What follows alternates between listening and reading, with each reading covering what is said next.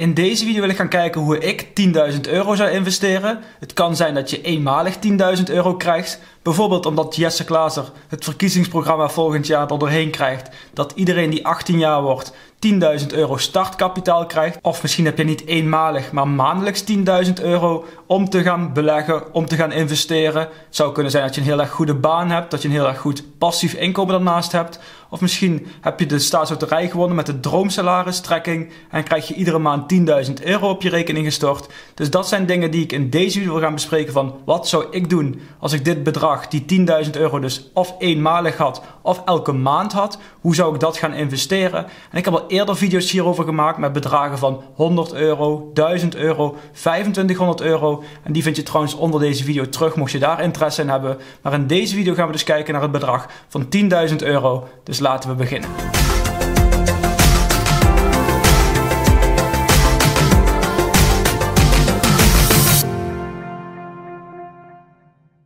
Leuk dat je kijkt naar een nieuwe video van een passiefinkomen.nl. Op dit kanaal maken we inmiddels drie keer in de week een video over persoonlijke financiën, investeren en beleggen of passief inkomen. Nou, en in deze video gaan we dus kijken naar de vierde video in deze serie van beginnen met investeren, gevolgd door een bedrag. Vandaag dus 10.000 euro. En dat doen we namelijk omdat elk bedrag uh, jij gaat anders investeren als je eenmalig of maandelijks 100 euro hebt dan wanneer je maandelijks 1000, 2500 of misschien wel 10.000 euro uh, te beleggen hebt, te investeren hebt. Dan heb je andere risico's, dus je kunt andere mogelijkheden heb je ook. Dus dat willen we gaan bespreken. En zoals altijd geldt natuurlijk eerst dat je de basis eigenlijk goed moet hebben staan. En in het kort komt dat neer op los eerst je ja, kortlopende schulden af schulden die je hebt die vaak een hoog rentepercentage hebben. Daar valt vaak je hypotheek dan weer niet onder. Maar denk bijvoorbeeld eventueel aankopen op afbetaling of een leasebedrag, dat soort dingen. zijn vaak hogere uh, rentepercentages. Dus dan heb je eigenlijk al meteen een goed rendement. Want als je een lening hebt met misschien wel 7%,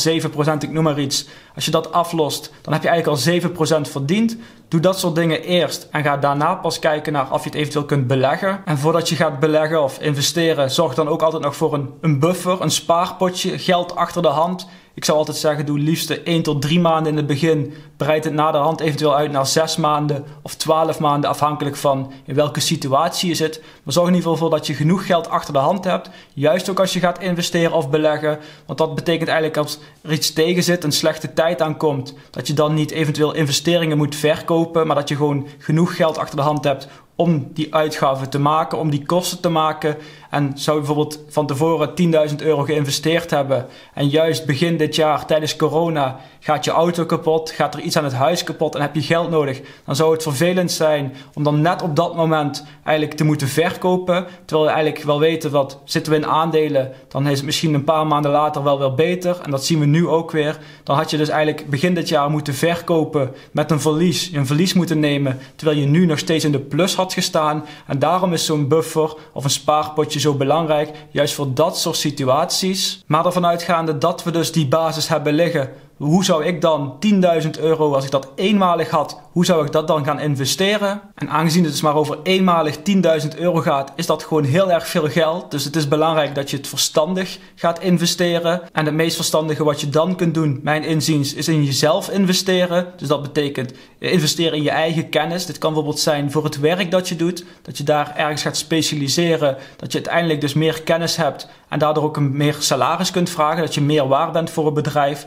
Dan heb je ook waarde gecreëerd. En dan komt dus een ja, extra salaris elke maand binnen. Dus dat is een goede investering. Je zou ook in jezelf kunnen investeren. Bijvoorbeeld vanwege je eigen bedrijf dat je misschien wel op wilt richten. Dan komt 10.000 euro vast wel van pas. Juist om die aanloopkosten te maken. Om daar tijd voor te maken. Tijd te investeren. Geld ook te investeren om die opstart te doen van je eigen bedrijf. Of je hebt die ambities niet om je eigen bedrijf te beginnen of verder te groeien in je eigen functie. Dan kun je natuurlijk het beste het geld aan het werk zetten door bijvoorbeeld te gaan beleggen.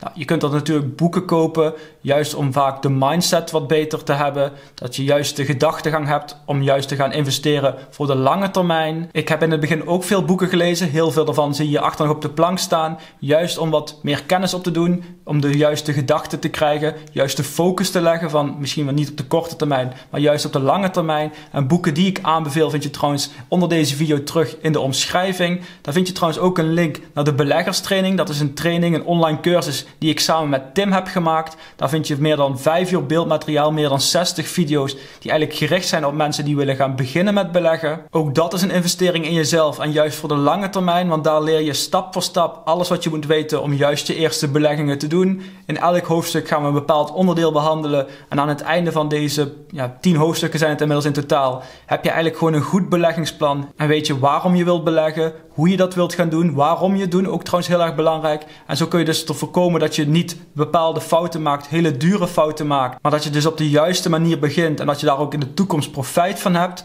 Tot zover de schaamteloze promotie van ons eigen product. Heb je dan nog geld over het resterende bedrag? Dat zou ik dan juist gaan investeren in brede fondsen. Dus ja, als je het, vooral als je het eenmalig doet, dan wil je niet een specifiek bedrijf kiezen. Dan wil je iets kiezen wat goed is, goed voor de lange termijn. En dan ga ik altijd naar ja, ETF's vaak. Dat zijn producten met een brede spreiding, een goed rendement, minder risico, meer zekerheid. En dat is vooral waar je naartoe wilt gaan, lijkt mij met zo'n bedrag als je het eenmalig krijgt. Daarom zou ik aan de ene kant hangt er een beetje af wat je wilt gaan doen. Wil je later ook nog maandelijks geld bij gaan leggen? Dan zou je bijvoorbeeld kunnen denken aan Bink Forward, dat je het geld laat beleggen.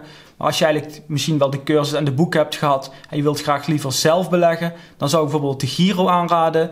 Daar heb je producten zoals VWRL of VUSA. Dat zijn heel erg brede fondsen die je echt ja, goedkoop kunt kopen, lage kosten, brede spreiding, een goed rendement en dus ook ja, minder risico, wat meer zekerheid om op de lange termijn een vermogen op te bouwen. En meer informatie over de Giro, over deze fondsen zoals VWRL, zal ik ook weer onder deze video plaatsen. Zodat eigenlijk alle informatie die je in deze video tegenkomt, daar makkelijk terug kunt vinden. En dan nu het interessante gedeelte. Wat als je 10.000 euro in de maand zou kunnen besteden om juist investeringen te gaan doen? Hoe zou ik dat aanpakken? Want stel, je hebt misschien de staatsloterij wel gewonnen de droomsalaristrekking van elke maand 10.000 euro. Of misschien heb je wel een erg goede baan, een goed lopend bedrijf. En heb je de mogelijkheid om 10.000 euro per maand te besteden. Je kunt natuurlijk begrijpen dat als je dit bedrag elke maand hebt, dat je dan anders met het geld omgaat dan wanneer het eenmalig dit bedrag zou zijn. En dit is dus zoals ik het zou doen. Wil niet zeggen dat jij dezelfde situatie hebt, dezelfde manier van denken dat jij het op dezelfde manier moet doen. Het is puur als inspiratie bedoeld. En misschien heb jij wel een ander plan. Ben ik ook erg benieuwd naar. Dus laat dat vooral weten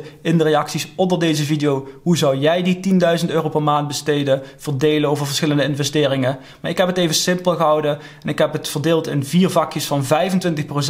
En de eerste 25% zou ik gewoon in een ETF stoppen. Zoals we net hebben besproken. Wanneer je eenmalig een bedrag zou krijgen. Dat zou ik eigenlijk nu hetzelfde doen. Alleen dan met 25%.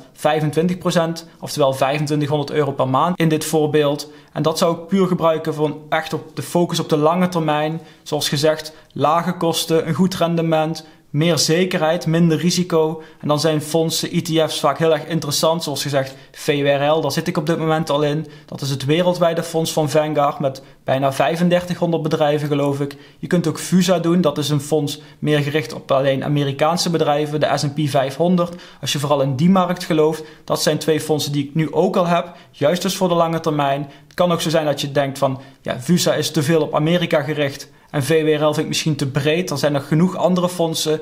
Denk hierbij bijvoorbeeld aan producten van Van Eck, die ongeveer 250 bedrijven erin hebben zitten. Dus je ziet dat er genoeg mogelijkheden zijn en dat er ook heel veel aanbieders zijn op dit soort dingen. Dus ga gewoon kijken van welke fondsen zijn er, welke voordelen heb je, welke kosten zijn eraan verbonden. En maak dan een beslissing wat jij denkt dat het beste is voor de lange termijn. De volgende 25% zou ik investeren in vastgoed. Dat kan natuurlijk in REITs, Real Estate Investment Trusts. Die zijn vaak heel erg breed over de hele vastgoedsector, of misschien wel een specifieke sector, in het zorgvastgoed of in de um, logistieke sector, zoals ik nu eigenlijk ook al deze REITs heb. Maar natuurlijk, wanneer je 25% of 2500 euro per maand zou kunnen investeren in vastgoed, dan is het ook een mogelijkheid om er een tweede huis bij te nemen of een tweede pand. Want dan heb je eigenlijk genoeg geld om die hypotheek te betalen, genoeg inkomen dat je ook een hypotheek wordt verstrekt aan jou. En dus ben je niet meer afhankelijk van wat anderen doen, maar kan jij je eigen pand kiezen. Je hebt met andere dingen te maken, met andere wetten, met andere regels. Je hebt met huurders te maken, contracten.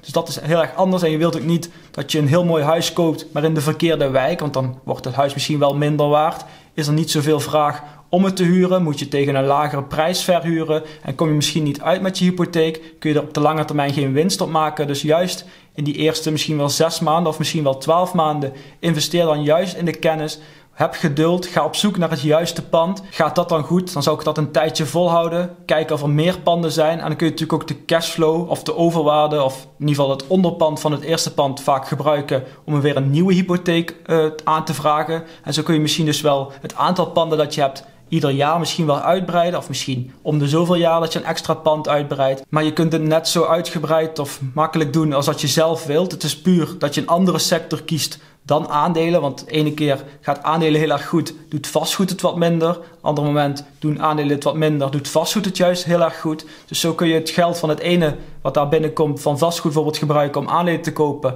Of juist je winst nemen bij aandelen om juist weer een huis te kopen wanneer de huizenmarkt een beetje instort. En je hoeft het niet dat je een huis gaat kopen. Je kunt natuurlijk zoals gezegd ook gewoon maandelijks blijven investeren in REITs. Maar op die manier heb je wel de keuze en ook weer extra spreiding in je portefeuille. Met de volgende 25% zou ik dan wat meer risico willen nemen. Meer risico richting beleggingen. Denk hierbij aan bepaalde sectoren of misschien juist het specifieke bedrijf.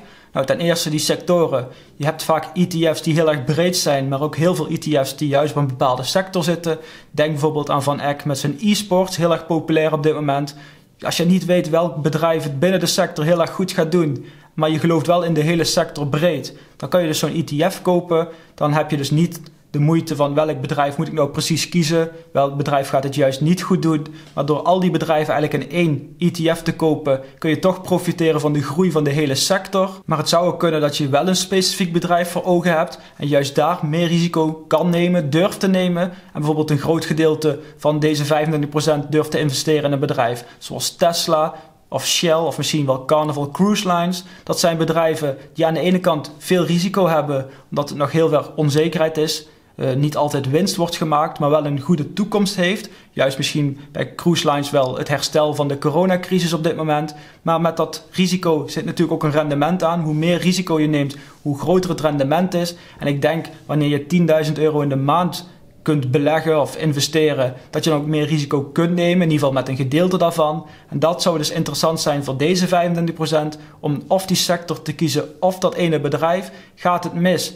Op zich denk ik dat je dan niet wakker van zal liggen als je 2500 euro in die maand verliest of een paar maanden achter elkaar. Jij kunt dat risico ook nemen, want je weet dat er elke maand toch 10.000 of meer binnenkomt. En op dit moment zou ik voor deze 25% kiezen voor bedrijven zoals Square, Tesla, Carnival Cruise Lines of juist die e-sports. Producten met veel risico, bedrijven met veel risico, maar ook heel veel potentie en dus eventueel rendementsopties voor de komende jaren. En dan komen we bij de laatste 25% die ik zou investeren in een eigen onderneming. Een onderneming die vaak richting online zou zijn gericht, denk ik in ieder geval. Dus denk je bij een webshop, een bepaalde dienst of misschien wel content die je gaat creëren, maar zorg er eigenlijk net zo voor als bij vastgoed dat je eerst investeert in kennis. Dus huur een expert in, volg cursussen om wat te leren over hoe alles gaat, hoe je een webshop op kunt bouwen waar de valkuilen liggen, waar de kansen liggen van dat soort dingen. En werk dat uit in een goed ondernemingsplan, dat je eigenlijk heel erg goed nadenkt over wat je wilt gaan doen. Want je wilt het namelijk ook op gaan richten voor de langere termijn, dat het goed kan groeien.